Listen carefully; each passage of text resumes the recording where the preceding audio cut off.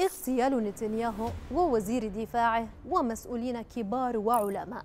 هذه أبرز أهداف جواسيس إيران في إسرائيل وفقا لبيانات الشرطة والموساد والشباك.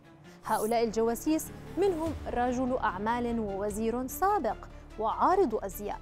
لذا دعوني أخبركم المزيد عن أبرز هذه العمليات التجسسية.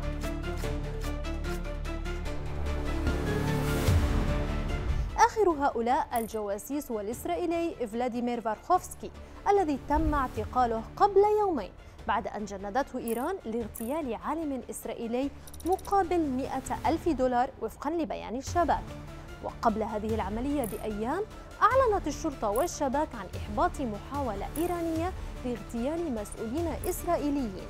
البيان أوضح أيضا أنه تم الكشف عن بنية تحتية لأجهزة المخابرات الإيرانية التي تعمل على تجنيد مواطنين في إسرائيل.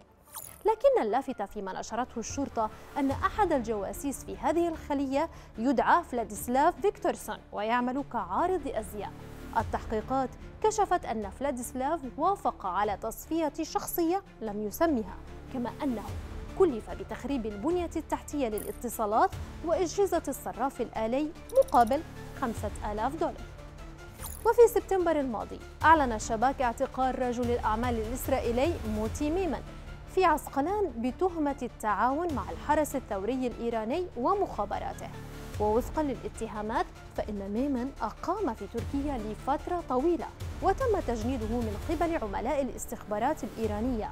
ويزعم أنه وافق من خلال وسطاء أتراك على مقابلة رجل أعمال مقيم في إيران ظاهريا للترويج للأنشطة التجارية. وفي عام 2018 تم اعتقال جونين سيجف وزير الطاقة السابق للاشتباه في تجسسه لمصلحة إيران. أدين سيجف لاحقا بالتجسس الخطير وتقديم معلومات للعدو.